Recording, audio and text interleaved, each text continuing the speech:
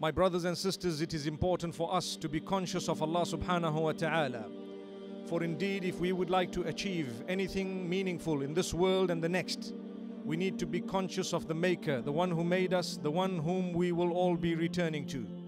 This is Allah subhanahu wa ta'ala. The difference between one who believes and one who does not believe is vast.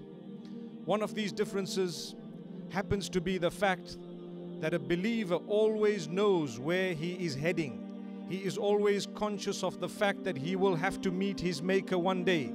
ما منكم من أحد إلا سيكلمه ربه ليس بينه وبينه ترجمان Every single one of you one day shall speak to your Lord without a barrier, without anyone to explain and so on. You will understand exactly what your Lord is saying and you will have to respond. May Allah subhanahu wa ta'ala make that day a beautiful day for us, the best of days. Indeed, one of the most beautiful gifts that a believer can have is to be able to look at Allah subhanahu wa ta'ala and communicate with the one who made him. That is one of the biggest gifts. And we should, every one of us, be looking forward to that beautiful day. So the question is how do I prepare for the day when I will be meeting the one who made me? Today, you and I get excited when we need to meet an important person. You and I would probably make sure that the appearance is such that they do not see flaws in us. At the same time, we may want to put on a scent that would be such attractive in a way that it does not turn the person away from us. If you have a meeting with someone who happens to be higher up the political ladder or someone you look up to in any way, you would make sure that you were not a disgrace. Something of a very higher example when it comes to Allah subhanahu wa ta'ala. We do not want to be a disgrace. We do not want to be someone whom Allah subhanahu wa ta'ala does not want to meet. And this is why Muhammad sallallahu alayhi wasallam says, Man ahabba liqa Allah, ahabba Allahu liqa'ah. Whoever is looking forward or loves to meet Allah, Allah loves to meet him or her. So if I love to meet Allah and I'm looking forward to it, Allah subhanahu wa ta'ala would love meeting me too. It's amazing. Yet Allah does not need us. He does not need us at all, but He would look forward to meeting someone who's looking forward to meeting Him. And this is why in the Quran, in more than one place, Allah subhanahu wa ta'ala explains to us what to do. You, you are looking forward to meeting with Allah. فمن كان يرجو لقاء ربه فليعمل عملا صالحا ولا يشرك بعبادة ربه أحدا. Whosoever from amongst you is looking forward to the meeting with Allah subhanahu wa ta'ala, he needs to make sure primarily that two conditions are met. He needs to do good deeds, al amalus salih, according to those who've explained the verse. The mufassirin and the ulama have explained quite clearly that al amal means a deed. And al amalus salih is a deed that was taught by Muhammad sallallahu alayhi wasallam. When you worship your Maker, do not fabricate or create or innovate an act of worship from your own self. No, Allah sent someone to teach you how He wants to be worshipped. So stick to that. When you want to fulfill your salah, ensure that you're fulfilling it in a way that Allah will love, a way that Allah has taught. And this is the way taught by the messenger of the same Allah subhanahu wa ta'ala, whom we are trying to please. So, therefore, my brothers and sisters, protect yourself from innovation, come what may. When it comes to acts of worship, do that which is taught by Muhammad sallallahu alayhi wasallam in a way that was taught by him. Hence, you would be preparing for the day you meet with Allah subhanahu wa ta'ala. Something very simple. Similarly, Allah says, if you are looking forward to the meeting with Allah subhanahu wa ta'ala, on top of the deeds being pure and good as per the teaching of Muhammad sallallahu alaihi wasallam, make sure that you render no act of worship for anyone or anything besides Allah subhanahu wa ta'ala. وَلَا يُشْرِكْ بِعِبَادَةِ رَبِّهِ أَحَدًا The worship of Allah subhanahu wa ta'ala is for Him alone. An act of worship is rendered solely and only to He who made me, He who made you. When I put my head on the ground, it is solely for the one who made me, no one else. When I ask for general happiness, when I ask for cure, when I ask for goodness in this world and the next, I'm asking Allah and I'm asking Him alone if Allah has given someone the ability, the physical ability that I can witness with my eyes to help me in a way, then after asking Allah's help, I may ask them, Brother, can you give me 10 pounds? Because I know they have 100 pounds. And this is something physical that is witnessed by the eye. But none of us controls the happiness and sadness of one another or the other. We need to know this is from Allah subhanahu wa ta'ala. The goodness, the good fortune, the general barakah and blessings in sustenance.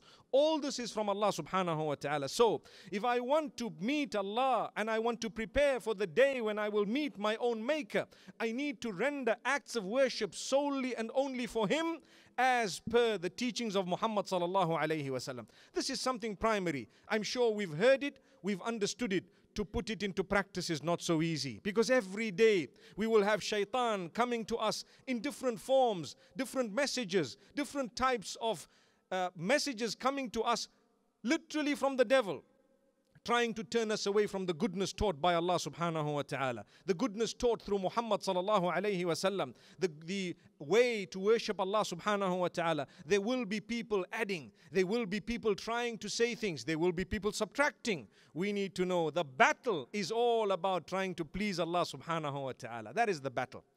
And then we are also taught that if you would like to meet with Allah subhanahu wa ta'ala, one of the ways of preparing is kathratul istighfar. Seek a lot of forgiveness from Allah subhanahu wa ta'ala. Do not think for a split moment that I have not sinned today, so why should I say, Oh Allah, forgive me, when I haven't even done anything wrong? My brothers and sisters, we live in an environment such that there are two types of sin major and minor. Some of the minor sins we engage in without even knowing that's how it's become. May Allah forgive us. May Allah make us conscious. This is why the term taqwa is translated in so many different ways because in the Arabic language it's quite simple. But try and bring it into the English language. It's very difficult to explain. Some people say the fear of Allah, some people say the consciousness of Allah. And you know, the deeper explanation is to create a barrier between you and the punishment of Allah by obeying His commands and abstaining from His prohibitions. This is something unique. We need to understand one powerful word, taqwa. Taqwa is to be able to please Allah, to be conscious of Allah, to be able to ask Allah's forgiveness, to ask Him to make you conscious of so many different things. We fasted a few months back, and you and I know that one of the aims of fasting, Allah says, لَعَلَّكُمْ تَتَّقُونَ In order for you to be achieving piety, in order for you to be achieving consciousness, you become conscious of the food, you become conscious of your feelings, you become conscious of those who cannot afford, you become a person who has who is filled with compassion and so on, reaching out to people throughout the year, the next 11 months after the month of Ramadan, you and I know that if we have become conscious of all these things, we would be assisted in a beautiful way to get closer and closer to Allah subhanahu wa ta'ala. So if I am to be a person who asks Allah's forgiveness, oh Allah, forgive me, two things happen. One is the sins I've committed are forgiven, and two is once they are wiped out, my level begins to increase. Who wouldn't want that? My level of closeness to Allah begins to become better. I get closer and closer to my own maker through istighfar. The evidence of it is the fact that the Sahaba radiallahu anhum, the companions of Muhammad, peace be upon him, narrate to us quite clearly, saying that Muhammad, peace be upon him, used to ask Allah's forgiveness, although he did not need it. He used to ask Allah's forgiveness more than 70 times a day and sometimes a hundred times a day. He used to say, Oh Allah, forgive me. Astaghfirullah. My brothers and sisters, when we seek the forgiveness of Allah, spare a moment to think what you are saying. Sometimes shaitan comes to us to make us say Astaghfirullah a hundred times, but without thinking what we've said. While we are sinning, we are busy saying Astaghfirullah, Astaghfirullah, Astaghfirullah, and we are sinning in the middle of a sin. It shows that we are not conscious. When we say astaghfirullah after every prayer, after every prayer, as we make the salam, the sunnah is to say astaghfirullah audibly, thrice at least, subhanallah. Oh Allah, forgive me. I seek your forgiveness, oh Allah. From what? Ya Allah, I am weak. I am a human being. Th- that which I know, that which I don't know. The ma- major sins require specific istighfar and what is known as tawbah. To repent in a way that you don't go back to the sin. Those are the major sins. But the minor sins, as you know, al jumu'atu ila al jumu'ati kafaratu lima baynahuma. A jumu'ah when you fulfill it correctly to the next Jum'ah, fulfilled correctly, the minor sins, the minor sins are expiated, they are gone, they are forgiven by Allah subhanahu wa ta'ala. It's something unique, it's a gift of Allah. So if I want to prepare to meet with Allah, I need to ask Him forgiveness on a daily basis more than a hundred times. Because there was a messenger who was spotless, sallallahu alayhi wasallam. He used to ask so many times, surely myself, who has no standing when it comes to the level of the messenger, I am far, far worse. I cannot even compare myself. So I need to ask for forgiveness even more than that. But the minimum is at least fulfill that sunnah. May Allah subhanahu wa ta'ala forgive us all. Ameen. My brothers and sisters, imagine arriving in the presence of Allah subhanahu wa ta'ala on the day of judgment or beyond, and there is so much istighfar on your sheet. You know, we will be given our books. In your book, a lot of istighfar. طوبى لمن وجد في صحيفته استغفارا كثيرا. Give good news of Jannah to the person in whose books or in whose sheets there is a lot of istighfar. Imagine I've committed sin and we've all committed sin that which we know, that which we don't know, and we've just said, May Allah forgive us. We repeat it, May Allah forgive us all. Amen. Imagine if I arrive on the day of Qiyamah with all the sins I've committed, and then I'm standing in front of Allah subhanahu wa ta'ala, and all the istighfar is also there. You tell me when Allah calls Himself Ghafoor, Rahim, Ghaffar, وإني لغفار لمن تاب وآمن Amazing how Allah says I am so forgiving. The term ghaffar is known as mubalagha, whereby it does not just mean to forgive, but it means to constantly forgive. Allah says, I keep on forgiving. Subhanallah. Imagine if I arrive and I have so much of asking Allah's forgiveness on the day of judgment and I have the sins. What do you think Allah, who is the most forgiving, will do when He has seen that you are asking for so much of forgiveness? Really, you need to have hope, and that brings me to the next point.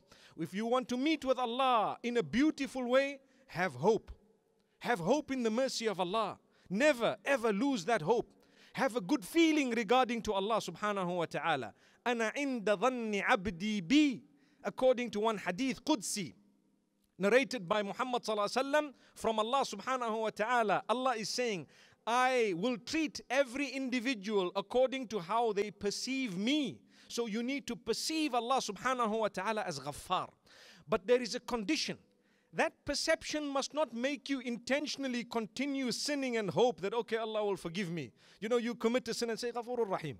We heard in the Masjid Ghafurur Rahim. Let me continue, you know, whether it's gambling, adultery, whatever else it is, uh, alcohol and drugs and the nightlife and all the haram. And every time you're doing something, say, don't worry, we just heard Allah is Ghafurur Rahim. That is something dangerous. It is shaitan's trap and it is such that you die in a bad condition.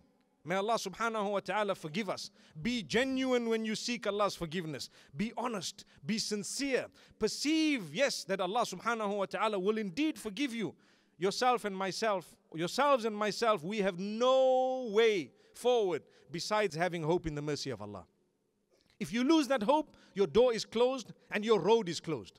You need to have hope in the mercy of Allah. That is what will keep me alive. The day I am on my deathbed, may Allah grant us all a good death.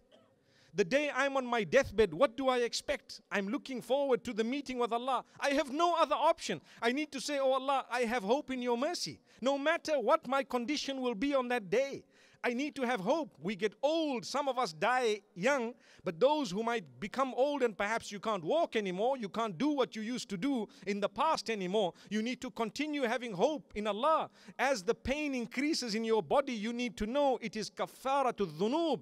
It will forgive your sins, it will expiate the sins that you may have committed, and on top of that, your, your status begins to become elevated because you are bearing what is known as sabr. Sabr does not just translate as forbearance or patience, it has an encyclopedia of meaning. May Allah subhanahu wa ta'ala guide us. So, my brothers and sisters, never lose hope in the mercy of Allah. We will hope in the mercy of Allah. We will hope that Allah loves us. We will hope that He has forgiven us. And inshallah, that is the condition upon which we will meet Him. We will meet Him with the same hope. May Allah subhanahu wa ta'ala be pleased with us at all times. Ameen. Similarly, what is extremely important is known as kathratu sujud. There was a companion of the Prophet wasallam who was once told or asked a question about paradise and he wanted it and he asked for it. And the Prophet wasallam says, Well, help me to achieve it for you by fulfilling sujud often, by finding yourself in prostration a lot. So, my brothers and sisters, you want to prepare to meet with Allah? You got to take something with you. Subhanallah. What is it? كثرة السجود. أقرب ما يكون العبد لربه وهو ساجد. The closest that a worshipper is to his Rabb is when he is in the condition of prostration. أمرت أن أسجد على سبعة أعظم الجبهة وأشار بيده إلى أنفه واليدين والركبتين وأطراف القدمين. The Prophet ﷺ speaks to us about the correct method of prostration. And he says, Seven bones I've been instructed to prostrate upon. And he pointed to the forehead, or he said the forehead and pointed to the nose. And then he says, the hands and the tips of the toes, the knees and the tips of the toes. So you have six, and this is the seventh one. Let us prostrate and take your time in prostration. Kathratu sujud, often prostrating. Not just your salah, but you need to lengthen it a little bit.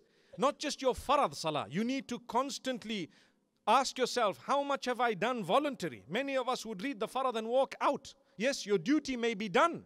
But remember, get closer to Allah. Prepare in a way that you would actually be able to come and offer something. You have something grand. According to the narration of the Prophet, ﷺ, you are looking forward to meeting with Allah. You want Jannah, you want paradise. Inshallah, the beauty of it will only be felt when you are preparing for that beautiful day. My brothers and sisters, there are so many other ways of achieving the closeness to Allah, of preparing for the meeting with Allah. Your kindness, your reaching out to those in need, your reaching out to your brothers and sisters, whether they are in your city, in your locality, or across the globe, those who are struggling and suffering, just to reach out to them with something small that you may have, perhaps with a prayer if you don't have anything material, good words amongst yourselves, cleansing your heart so that you learn to love one another. This all for the sake of Allah.